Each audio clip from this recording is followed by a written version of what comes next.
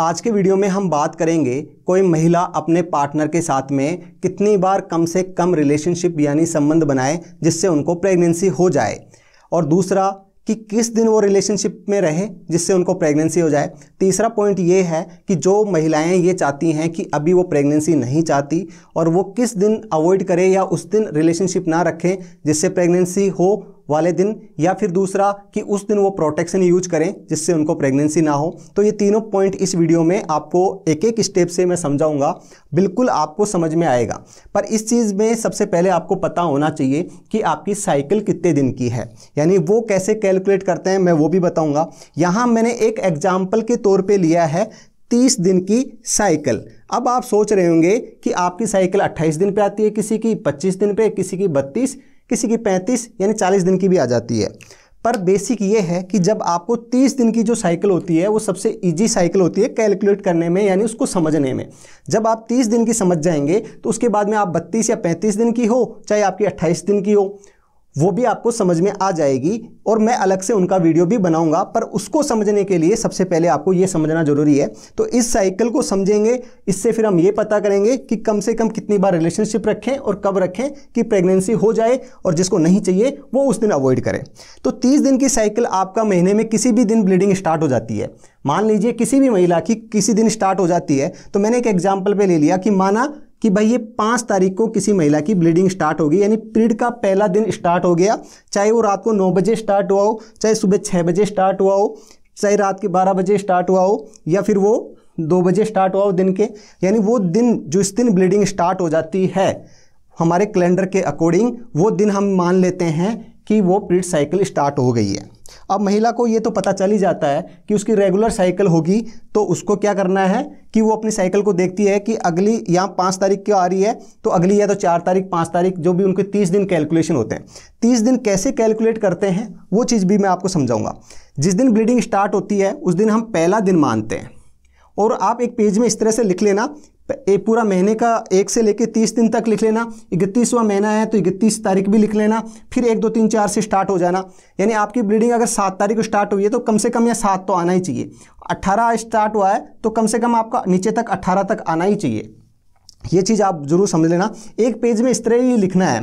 थोड़ी सी आप मेहनत करोगे तो आपको ज़रूर सक्सेस मिलेगा। बहुत दवाएँ खाई होंगी, पर कई बार ये होता है कि मेन टाइम जिस दिन अंडा बाहर निकलता है, उस दिन रिलेशनशिप नहीं बनाते। और दवाई खाने का फ़ायदा क्या है कि आपके अंडे डॉक्टर ने बना दिए दवाइयों से, अंडा बाहर भी निकल रहा है और मेन टाइम आप चूक जाते हैं रिलेशनशिप नहीं बना पाते, उस वजह से आपको प्रेगनेंसी नहीं होती। तो थोड़ा सा आप ये समझेंगे कैलकुलेशन यानी कम से कम रिलेशनशिप कब बनाएँ? तो यहाँ से आप काउंट करना। वन टू थ्री फोर, मैं बहुत स्टेप आराम आराम समझा रहा हूँ। Five, six, seven, eight, nine, ten. Hindi में बोल देता हूँ मैं।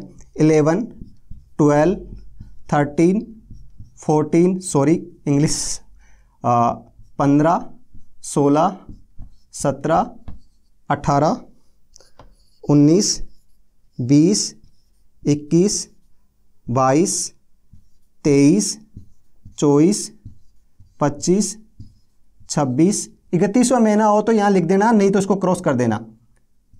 सत्ताईस, अट्ठाईस, उनतीस, तीस। जो तीस दिन की साइकिल है तो हमारा तीन तारीख को, आप देख रहे हैं, जो तीन तारीख है, उसको हमारे तीस दिन कंप्लीट हो कंप्लीट होते हैं। आप इस चीज़ को थोड़ा सा समझना बहुत ज़रूरी है, इस तीन तारीख को। क्योंकि अंडा इस दिन से डिसाइड नहीं होता। आप बता देते हो कि सर मेरी ब्लीडिंग छः तारीख को स्टार्ट हुई है तो मेरा अंडा कब निकलेगा? कमेंट्स में ही आता है और मैं जवाब नहीं देता। क्यों नहीं देता? क्योंकि आप मुझे पूरी इन्फॉर्मेशन नहीं देते। इस वजह से मैं कमेंट्स में जवाब नहीं देता।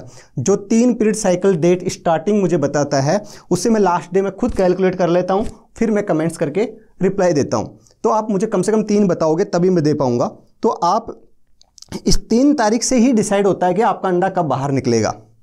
अब इससे फोर्टीन डे पहले यानी इससे चौदह दिन पहले ही अंडा बाहर निकलता है। आप इस चीज़ को और समझेंगे कि आपको कैसे पता चले कि आपका 14 डे यानी 14 दिन पहले कैसे कंप्लीट हो रहा है तो यहाँ से आप उल्टी काउंटिंग करते हुए चलो। तीस तारीख को मैंने, तीन तारीख को काउंट कर लिया one two three four five six seven eight nine Hindi में दस, ग्यारह बारह, तेरह, चौदह। जो मेरा चौदवा दिन आता है या फोर्टीन डे आता है, वो मेरा आता है इक्कीस तारीख को।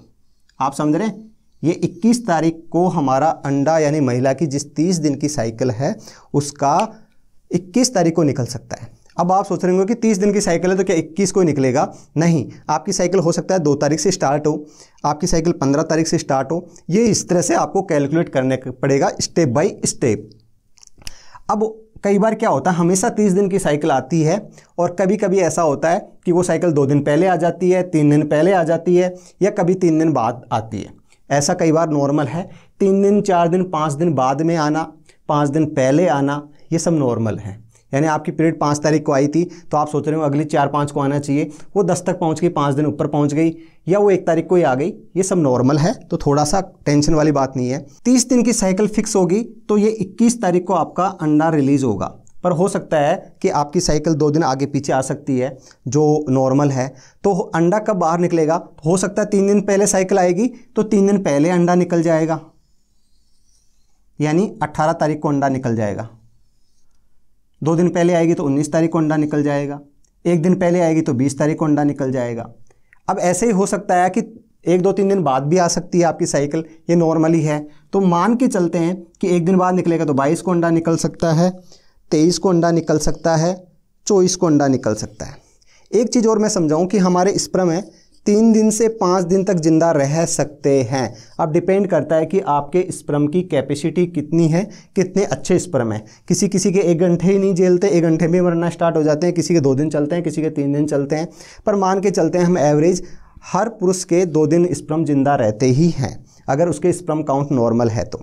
अब यहाँ आप समझ सकते हैं कि हो सकता है अंडा यहाँ बाहर निकले, यहाँ बाहर निकले, किसी भी दिन निकल सकता है। ऐसी कोई गारंटी नहीं है कि आप गारंटी दे सकते हैं कि आपकी फिक्स तीस दिन पर ही साइकिल आएगी। फिक्स तीस दिन के पे साइकिल आएगी तो बीस इक्कीस को रिलेशनशिप बना लो, आपको प्रेगनेंसी अचीव हो जाएगी नाइन्टी और अगर आप आगे पीछे जाती है तो आप ये कोशिश कर सकते हैं। अब हमने ये कहा कि मान लीजिए स्प्रम दो दिन ज़िंदा रहता है तो हम दो दिन का गैप दे सकते हैं, पर मैं ये कहूँगा कि आप प्रेगनेंसी चाहिए तो एक दिन का गैप दे लो। कम से कम आप एक दिन का गैप दे के आप प्रेग्नेंट हो सकते हैं। तो यहाँ आप कोशिश करें कि जिस तरह से मैंने 21 तारीख को तीन दिन पीछे, तीन दिन आगे तक बढ़ाया है, वैसे आप भी बढ़ा लेना और अब आप 18 तारीख को रिलेशनशिप बनाना, कम से कम रिलेशनशिप बना रहा हूँ, बता रहा हूँ। फिर उसके बाद में आप 19 को अवॉइड कर सकते हैं, चाहे तो आप रिलेशनशिप बना सकते हैं। फिर आप 20 को रिलेशनशिप बनाना 21 को अवॉइड कर सकते हैं। फिर आप 22 को रिलेशनशिप बनाना, फिर आप 23 को अवॉइड कर सकते हैं, चौबीस। तो मिनिमम एक कितनी रिलेशनशिप हुई? वन टू थ्री फोर यानी कम से कम चार दिन आपको रिलेशनशिप बनानी होगी, जब जाके कहीं आपको प्रेगनेंसी अचीव होगी। जिनको प्रेग्नेंट नहीं होना, वो ये जो अंडाई वाली डेट निकलती है उससे तीन दिन पहले और तीन दिन बाद तक रिलेशनशिप ना बनाएँ या प्रोटेक्शन यूज़ करें। तो क्या सौ परसेंट गारंटी है प्रेगनेंसी नहीं होगी?